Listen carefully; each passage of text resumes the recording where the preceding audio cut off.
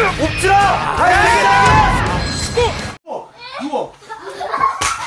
하나, 둘, 내가 부전제압용으로다가 해서 최대한 가고 마지막에 질 것 같으면 내가 진짜 죽을 각오로 이래연 대 정희진, 정희진 대 이래연. 안파 승부죠?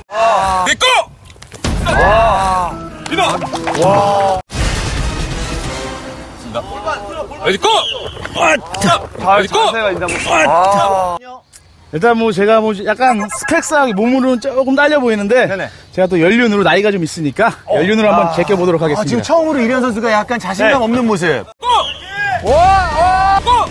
김동준!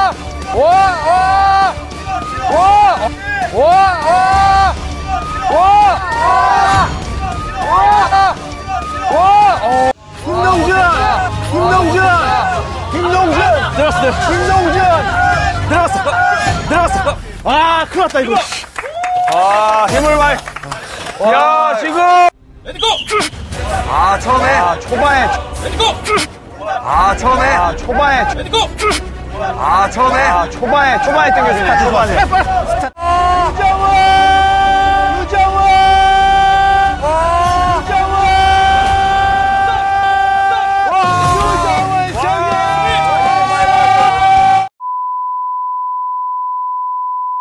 근데요, 우리 아빠들 어디 나가서 팔씨름한 일 많으시잖아요. 근데 아이들 앞에서 이겨줘야 또 이게 어깨가 또 이게 어? 힘이 빡 들어가지 않겠습니까? 그래서 집에서도 할 수 있는 팔씨름 훈련을 오늘 한번 해보도록 하겠습니다. 빡! Let's go! 팔 같은 경우에는 최대한 수축을 한 상태에서 몸에 붙인 상태로 하시는 게 좋아요. 머리를 고정을 시키고 땡겨보도록 하겠습니다. 자, 자 준비. 시작!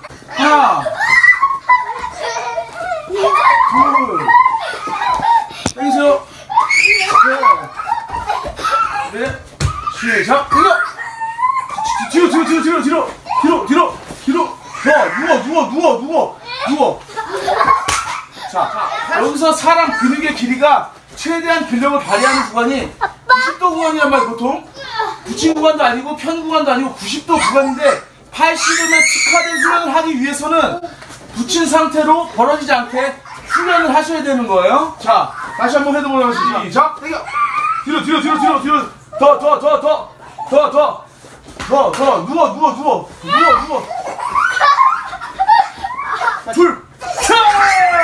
하나, 하나, 둘, 셋. 재밌게 보셨다면 좋아요, 구독 한 번씩만 부탁드리겠습니다. 좋아요, 구독 버튼 부탁드립니다.